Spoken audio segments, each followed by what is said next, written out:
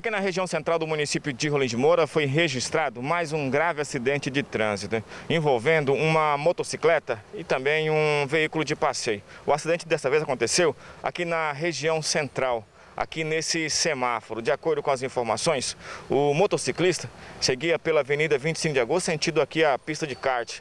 Já o condutor do veículo seguia pela Rua Curumbiária, sentido ao bairro Olímpico e a motocicleta acabou se chocando contra o veículo.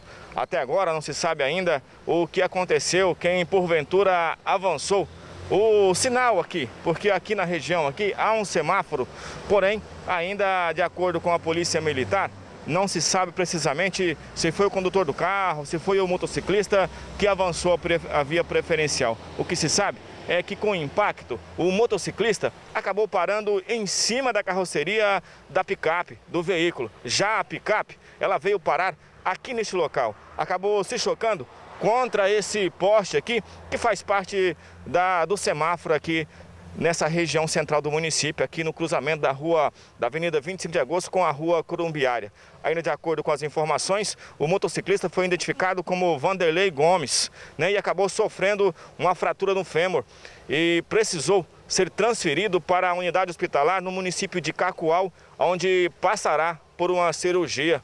É mais um acidente registrado aqui no município de Rolim de Moura. Com as imagens de Alex Feliciano, Mário Genzen, para o jornalismo da SIC TV.